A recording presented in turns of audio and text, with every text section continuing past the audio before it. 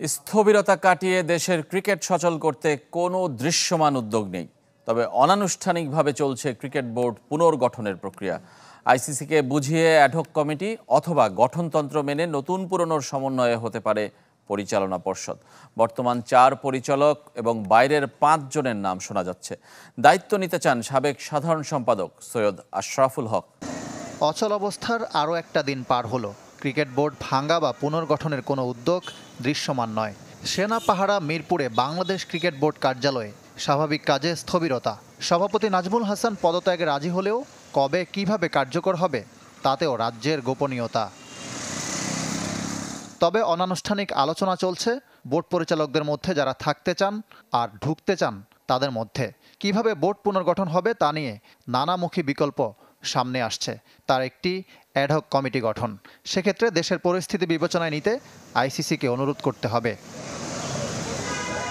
অথবা গঠনতন্ত্র মেনে বর্তমান বোর্ডের কিছু পরিচালককে রেখে নতুন কয়েকজনকে যুক্ত করা। সেক্ষেত্রে বোর্ডের বর্তমান পরিচালকদের মধ্যে থাকতে পারেন ইফতেখার রহমান মিঠু, আকরাম খান, মাহবুব আনামো ফাহিম সিনহা। বাইরে থেকে আসতে পারেন সৈয়দ আশরাফুল হক, নাজমুল আবেদিন ফাহিম, ফারুক আহমেদ, খালেদ মাসুদ পাইলট, এমনকি তামিম ইকবালের নামও শোনা যাচ্ছে। এই প্রক্রিয়া বাস্তবায়নযোগ্য বলে মনে করেন সাবেক সাধারণ সম্পাদক সৈয়দ আশরাফুল হক। দুনিয়া জানে যে বাংলাদেশে কি হয়েছে। আইসিসিও আমার মনে হয় না আপত্তি থাকবে। ধারাবাহিকতার জন্য আমার মনে হয় যে পুরানো বোর্ডের ভালো সৎ লোক ছিল।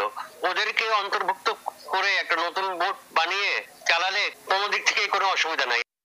সংকটে দেশের ক্রিকেটের দায়িত্ব নিতে রাজি এশিয়ান ক্রিকেট কাউন্সিলের সাবেক এই প্রধান নির্বাহী। আনুষ্ঠানিক প্রস্তাব পেলে প্রক্রিয়া শুরু করবেন। কোনোভাবেই নারী বিশ্বকাপ অন্য দেশে চলে যাক, সেটা চান না সৈয়দ আশরাফুল। যদিও সেজন্য খুব বেশি সময়ও বাকি নেই। ফেমিনা দেশটা চালায়, অমনি বিসিবি হচ্ছে চালানো হতো। ও শৈশবের সমাধান করে একটা ভালো একটা বিসিবি যদি ভোট করা হয়, আর বাংলাদেশে তো লোকের অভাব নেই, আমরা নিশ্চয়ই পাবো লোকজন যারা আর কি এটাকে ঠিকভাবে, সৎভাবে, ভালোভাবে চালাতে পারবে আর তবে পরিবর্তনের প্রথম ধাপ হিসেবে আগে তো পদত্যাগ করতে হবে সভাপতি নাজমুল হাসানকে। তখন বর্তমান পরিচালকদের একজন আপাতত সভাপতির দায়িত্ব নিয়ে এগিয়ে নেবে কার্যক্রম।